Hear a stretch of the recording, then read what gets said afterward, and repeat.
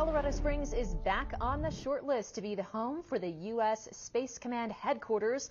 We had been on that list for about a year until the competition expanded to about 40 cities back in August.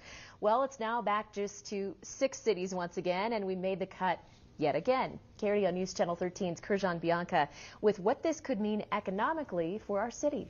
We're looking forward uh, to the announcement of the permanent home of Space Command in January. In August, Colorado Springs joined 40 communities vying to be named the permanent home of the U.S. Space Command. Now the city is named a top six finalist, with five others in the running. Leaders say when looking at the criteria issued by the U.S. Air Force, we feel that we're extremely well positioned. Tremendous synergy in terms of Air Force Academy cadets being uh, able to be involved. We could uh, transition to uh, being the permanent home of U.S. Uh, Space Command with very little effort. Synergies include the Springs' five military installations, a significant existing talent base, and UCCS plans to add an astronautical engineering degree in 2022. But before a final decision, three things must take place before the end of the year an in depth questionnaire, a site visit, and a virtual presentation held by Governor Jared Polis and Mayor Suthers highlighting the assets and qualities of the Springs. So, what would this mean for our community? Well, it would mean a lot. Uh, it would mean uh, approximately 1,500 active duty troops